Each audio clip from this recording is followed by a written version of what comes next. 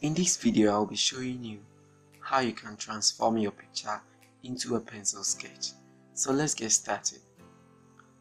First, open the image you're going to use in Photoshop.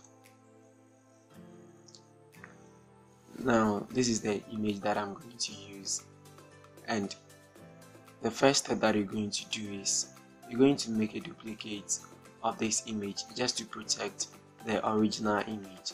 So you can do that by pressing ctrl or command J and you will make a duplicate of your picture.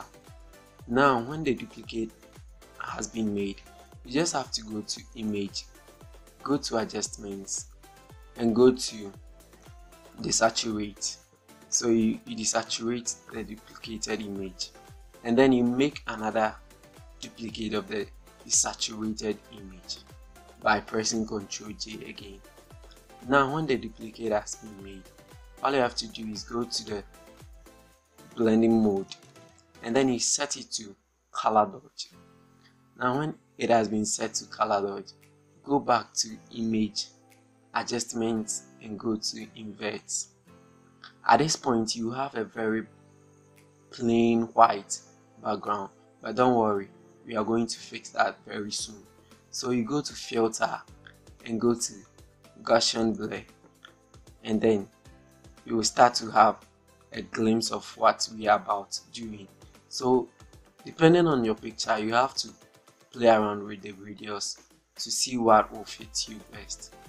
So I'll decide to play my radius so I think uh, 36 or let's say 29 here I think 29 will be okay for me. So when I'm done I'll click OK now I will have to just go to the adjustment layer and create a new fill adjustment. And then I'll select the levels and I will drag it from here. I think here is okay. Now when you are done you have to select your brush tool we want to clean some places that we don't want so you select the brush tool and make sure that you click on this white background here. Make sure the hardness is zero. And then you start to brush off the areas that are too dark for you. So you brush off the areas that are too dark for you. Now we are almost through with our sketch. Now the last step that i'm going to show you is you have to go to the image and then you go to duplicate. Make sure you take this box that is duplicate merge layers only.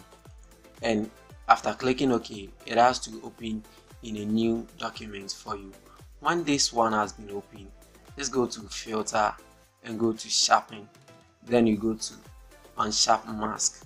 And then you can also play with the radius and find out what will suit your image very best so that's it. That's how to transform your picture into a pencil sketch. And i hope you enjoyed the tutorial. If you did i hope you give it a like and then you subscribe to my channel for more videos. Take care